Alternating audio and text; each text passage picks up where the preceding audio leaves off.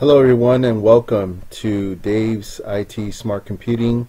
Um, welcome to the channel. I welcome you all first time subscribers and for those of you that are really wanting to learn about computers uh, this is a video that I will show you, I will demonstrate to you how to defragment your hard drive using Windows 10.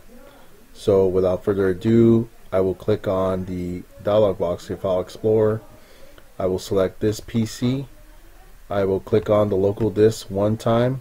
I will right click and I will select properties and all I'm going to do here I can close this other one I'm going to click on tools Optimize and defragment your drive. The optimize your computer drives can help it run more efficiently. You click one time optimize, position it over here.